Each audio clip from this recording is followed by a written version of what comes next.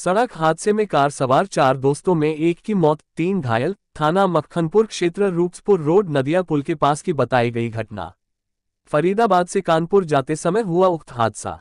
फिरोजाबाद थाना मक्खनपुर क्षेत्र रूपसपुर रोड, नदिया पुल के पास डम्फर अचानक सामने आने पर उसे बचाने के प्रयास में चार पहिया वाहन चालक ने उसे मोड़ा तो डिवाइडर से जा टकराया, जिसमें उसमें सवार चार दोस्तों में एक की मौके पर ही मौत हो गई।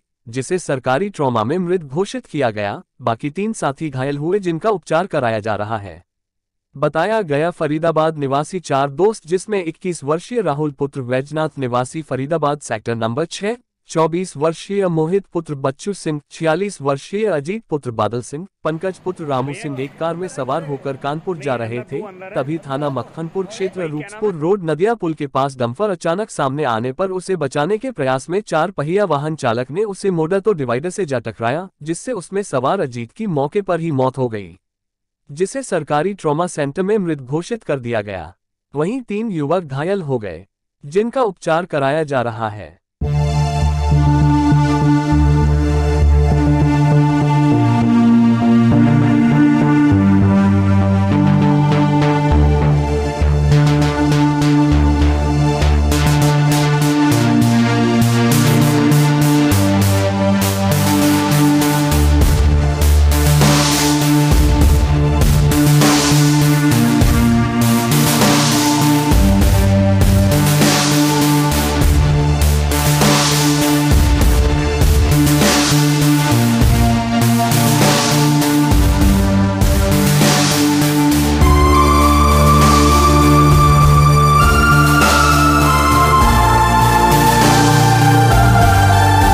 आपके साथ वो तीन लोग थे उनके क्या नाम है?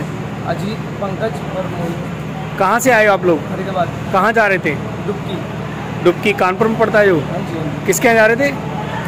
नाम तो नहीं पता बट एक्सीडेंट किससे हुआ आपका? एक्सीडेंट एक्चुअली हम मिड लाइन में चल रहे थे और इस साइड में डंपर ने एकदम से कट मारा। तो ड्राइवर ने एक साइड एकदम कट लिया वो डिवाइडर से स्पाइडर आपकी कार डिवाइडर से टकरा गई बचाने के चक्कर में। हाँ ये कहाँ की घटना है? खाना थाना कौन सा पड़ेगा?